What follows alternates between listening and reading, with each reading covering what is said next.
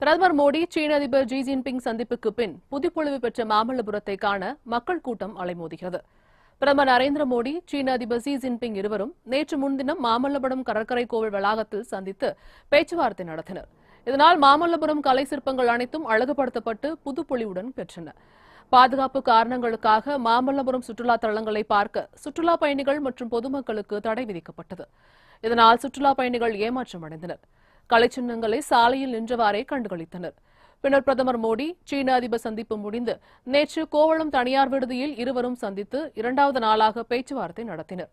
மதியம் பேச்சுவார்த்தை முடிந்து இருவரும் சென்னை விமான நிலையம் திரும்பினர். இதைத் தொடர்ந்து மாலை மூன்று மணி அளவில் பழைய மகாபலிபுரம் சாலை மற்றும் கிழக்கு கடற்கரை சாலையில் நிறுத்தப்பட்டிருந்த போக்குவரத்து மீண்டும் இயக்கப்பட்டது. இதனால் மாமல்லபுரம் இயல்பு நிலைக்கு திரும்பியது.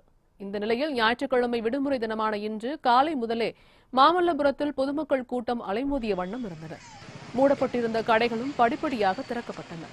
ஓட்டல்களும் வழக்கம் போல செயல்பட்டன. இன்று காலை முதல் கடற்கரை கோவில் ஐந்து ரதத்தை பார்ப்பதற்காக நுழைவு கட்டணம் வசூலிக்கப்பட்டது. அங்கும் கூட்டம் அதிகமாக காணப்பட்டது. வெண்ணெய் உருண்டை பாறை அர்ஜுனன் தபசு குடைவரை கோவில் ஆகிய இடங்களில் திரண்டிருந்த ஆயிரக்கணக்கான மக்கள் செல்ஃபி எடுத்து மகிழ்ந்தனர். இப்போது பார்த்தாச்சுன்னா இவ்வளோ இதுவெல்லாம் இல்லை ஒன்றும் க்ளீனெல்லாம் ஒன்றுக்கிட்ட அங்கங்கே ம மரங்களும் முள்ளுவேலி அதெல்லாம் இருந்தது. இப்போ தான் ரொம்ப அழகாக பண்ணியிருக்காங்க. இது வந்து நம்ம தமிழருக்கு ஒரு அதாவது சைனீஸ் பிரசிடென்ட்டு நம்ம இவரெல்லாம் இப்போ பிரைம் மினிஸ்டர்லாம் வந்தது நம்மளுக்கு பெரிய ஒரு ஒரு அட்வான்டேஜ் தான் நான் நினைக்கிறேன். இப்போது இன்னும் வந்து டூரிஸ்ட்லாம் நிறைய இது இது சைனாவில் போய் இதெல்லாம் பார்ப்பாங்க. எல்லாம் ஃபாரின்லலாம் இப்போ ப்ராட்காஸ்ட் பண்ணுவாங்க இந்த இடத்த பற்றி இப்போ இன்னும் வந்து டூரிஸ்ட்டும் தமிழ்நாட்டுக்கு வருவாங்க. வந்து இன்னும் நல்ல இம்ப்ரூவ்மெண்ட் ஆகும்னு நினைக்கிறேன்.